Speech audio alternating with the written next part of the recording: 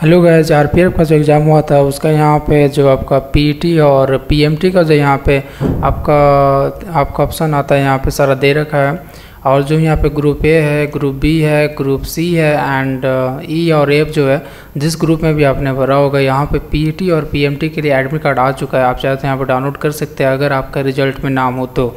तो यहाँ पर डाउनलोड करके आपको जाना पड़ेगा सेंटर देगा आपको यहाँ पे आपका फ़िज़िकल मेज़रमेंट टेस्ट होगा यानी कि पीएमटी और पीटी का मतलब होता है फ़िज़िकल आपका एफिशिएंसी टेस्ट होगा वहाँ पे जहाँ पे आपका सेंटर दिया रहेगा, ठीक है? तो आप यहाँ से डाउनलोड कर सकते हैं ग्रुप ए के लिए, या अगर ग्रुप बी के लिए आपने अप्लाई कर रखा है तो ग्रुप बी में भी आप डाउनलोड कर सकते हैं। ग्रुप सी है ग्रुप एफ़ है एंड ग्रुप ई है, ठीक है? तो हिसाब से अपना डाउनलोड कर सकते हैं यहाँ से। डायरेक्ट आपका यहाँ पर जो ऑफिशियल लिंक है, मैं डिस्क्रिप्शन में दे दूँगा, आप यहाँ से डायरेक्ट जा सकते हैं और अपना एडमिट कार्ड डाउनलोड कर सकते हैं।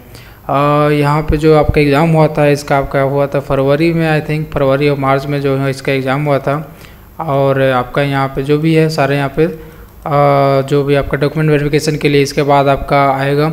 जब पीटी और पीएमटी हो जाएगा, उसके बाद डॉक्यूमेंट वेरिफिकेशन उसके बाद आपका ज्वाइनिंग के लिए ऑप्शन आएगा, ठीक है? तो इस वीडियो में इतना ही गया आई थिंक सारा यहाँ पे समझ में आ गया हो गया। सो नेक्स्ट वीडियो में कुछ और लेकर आते हैं। तब तक के लिए take care guys have nice day bye bye